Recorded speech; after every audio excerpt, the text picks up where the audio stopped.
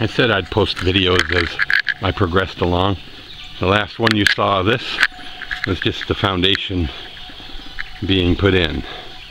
Now, as you can see, the mill is fully assembled. Log is up on top of the mill, and I've already made a couple of cuts on it.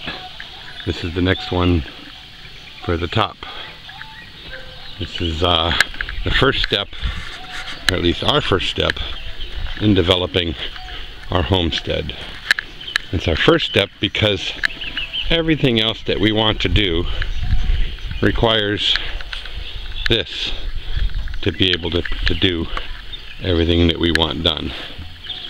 As you can see from here, bringing it around, I have that face and the bottom face already cut and all that's left is to cut the top now. Well, that's not all, but that's the next step. We'll be moving on to the greenhouse in my next video.